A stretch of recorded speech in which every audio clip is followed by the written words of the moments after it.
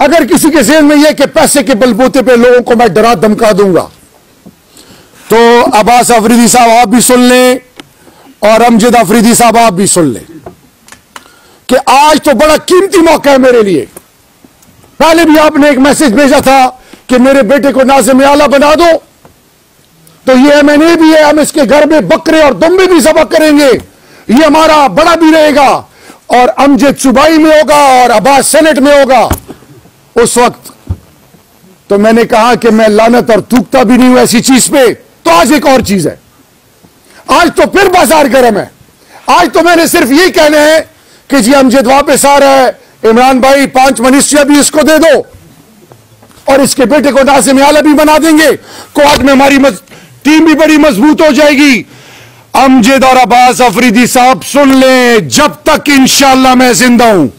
अकेले भी रहा तो कोहाट में पैसे से होने का यकीन लोगों की खरीदो फरोख्त में।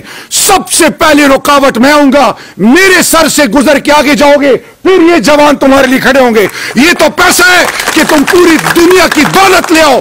तुम तरीके इंसाफ को नहीं खरीद सकते, ना उसके फलसफे को खरीद सकते हो। यानी भाई हो जब आपका, जिसको आपने वोट दिया हराम खोर हो जाए यतीमों, नादारों, मिस्किनों का माल खाए और उसमें आपके लिए ट्रांसफार्मर लगा दे, उसमें भी आपके लिए खंबा लगा दे। आपकी गली के आगे एक छोटी सी सीमेंट, दस, बीस, चालीस, पचास हज़ार का एक छोटी सी एक नाली बना दे या स्ट्रीट बना दे या पानी का पाइप दे दे आपको, या पानी दे दे तो आप कहते हम इसके एहसानमंद हैं।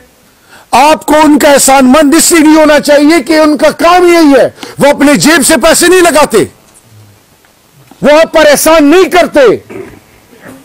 सवाल मेरा यह है कि पाँच साल पहले तेल और गैस के मद में जो अरबों रुपए मिले यहाँ के एमपीए को और इन साढ़े तीन सालों में, और फिर वो जो अपने आप को एमपीए पीटीआई का कहता है, और फिर सबसे बड़ी बात यह कि पाँच वजारतें उनके पास थी तो मेरा सवाल यह है कि जब आप किसी का किसी का पूछना चाहें तो उसका घर से पूछें। मैं जब बाबरी वाडी में जाता हूँ तो मुझे कहते हैं कि, शहरियार भाई, हमारे पीने का पानी नहीं है, हमारी रोड नहीं है, हमारी गैस नहीं है, हमारी गैस की लोड शेडिंग हो रही है, हमारी बिजली नहीं है, हमारे मदरसे के लिए पैसा चाहिए, हमारा कोई पूछने वाला नहीं है। मैं जब जिस जिस यूनियन काउंसिल में जाता हूँ तो मेरा सवाल यह है कि आपको यह हक होना चाहिए कि एमएनए साहब, आपके ऊपर हमारा यह हक बनता था। मेरे पैसे कहाँ गए? तो इसी तरह अगर आप एमपीए से नहीं पूछेंगे और लोग नाखुदा बनेंगे और लोग अपने आप को बड़ी बड़ी गाड़ियों और पंद्रह बीस साल पहले वो आम आम पाकिस्तानी की तरह, आपकी तरह ज़िंदगी गुजारे और 20 साल बाद वो अरबपति हो तो फिर आपको सोचना नहीं चाहिए कि ये अरबों, खरबों, ये बड़ी बड़ी गाड़ियाँ, ये बंगले, ये माल, ये दौलत किधर से आई? कौन सोचेगा? कौन सोचेगा? ये जो लूट मार का बाज़ार गर्म किया और आपको अपना मातहत बनाए बैठे में कि फलाना मैं पैसे से ले लूँगा। आज भी बोली कोहाट में काफ़ी दिनों से एक भेड़ बकरियों का बाज़ार गर्म है, जिसमें नाजिम आला के लिए बोलियाँ लग रही हैं कि जो नॉन इलेक्टेड है, जो औरत है हमारी कौम की माँ बहन बेटी, उसकी पाँच लाख कीमत है। और जो जो इलेक्शन जीत है उसकी दस लाख कीमत है। अब मुझे बताएँ, जब मैं आज करोड़ों रुपए लगाऊँगा तो कल वो अरबों रुपए निकालूँगा। पानी क्यों नहीं है? गैस क्यों नहीं है? रोड क्यों नहीं है? जनाजगाह क्यों नहीं है? ईदगाह क्यों नहीं है? अस्पताल में डॉक्टर क्यों नहीं है? फिर स्कूल में बिज़ी क्यों नहीं है? ये इसलिए मेरे भाइयों, कि जब हराम का बाज़ार गर्म हो तो फिर होता है कि इसने मुझे वोट दिया। जी साहब, को इसकी नाली पड़ा दो। मुझे इसने वोट नहीं दिया। इसका काम नहीं करना। तो अब्बास अफरीदी साहब, आप तो वफाकी वज़ीर थे। आज आप तो मियाँ नवाज़ शरीफ साहब को लेके आए थे। तीस करोड़ रुपए के लिए आज आप कह रहे हो कि मेरे मुँह से ये पैसे लगे। वो रेल कार क्यों बहाल नहीं हुई? वो जो झूठे वादे किए गए बनू में कि इंटरनेशनल एयरपोर्ट बनेगा वो तो छोड़े। मेरा जो चौदह अशारिया छह रुपए आपके साथ सूबे का हक बनता है। अब्बास अफरीदी साहब, अगर आप इस मट्टी के बच्चे हो तो आप नवाज़ शरीफ साहब से कहो कि मैं आपका साथ उस वक्त दूँगा जब सूबे को आप उसका हक दोगे। हमें चौदह अशारिया छह में से एक अशारिया से सात छह परसेंट पैसे मिलते हैं। आप मेरे कबाए लोग, जलीलो ख्वार हो रहे हैं। एमएनए कोहाट को एक टका नहीं दिया। क्या ये कोहाट पाकिस्तान का हिस्सा नहीं है? पैसे करोड़ों रुपए हम दें, बिजली के मद में। साढ़े तीन साल से आज भी मेरे ट्रांसफार्मर नहीं आए। मेरे भाइयों,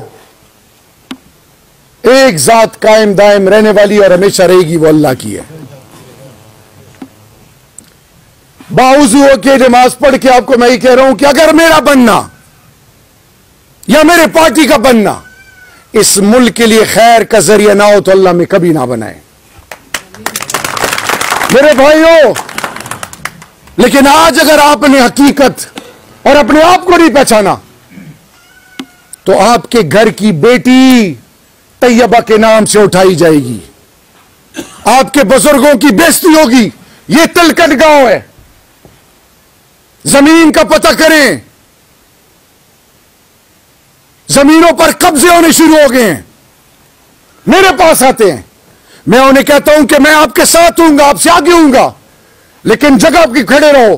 कहते हैं, हम गरीब हैं, हम मुकाबला नहीं कर सकते। तो जिसने ये कलमा पढ़ा कि ला इलाहा इल्लल्लाह, उसका मतलब क्या है?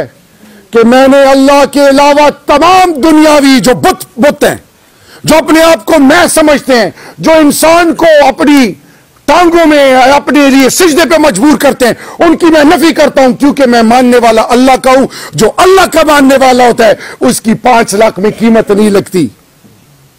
पाँच लाख में अपने आप को बेचूं, दस लाख में बेचूं। तो मेरा सवाल यह है, आपके लिए गली बना ली और एक ट्रांसफार्मर बना लिया। और आप ये समझ जाओ कि यार इसका तो मेरे पे बड़ा एहसान हो गया है। मेरे भाई उससे एहसान नहीं किया। आप अमजद अफरीदी को बुला लें और उसे कहें, वज़ू कर ले। और मैं भी वज़ू करके मस्जिद में बैठ जाएँ और उन्हें कहें कि एनुअल डेवलपमेंट फंड में, प्लान में ये साल में जो परवेज खटक से अरबों रुपए के एक हल्के के लिए रोड, मुख्तलिफ़ स्कूल, हर चीज़ में, ये कौन आपको निकाल के देता है? इस साल भी मैंने परवेज खटक साहब से कहा कि, खटक साहब, क्वाड के लोग कहते हैं कि शहरियार ने हमारे लिए क्या किया? मेरा काम है हुकूमत, सूबाई हुकूमत से फंड निकलवाना। एमपीए साहिबान है, सूबाई हुकूमत के अवामी नुमाइंदे। क्योंकि एमएनए को फंड या देगा प्राइम मिनिस्टर या एमएनए चीफ मिनिस्टर से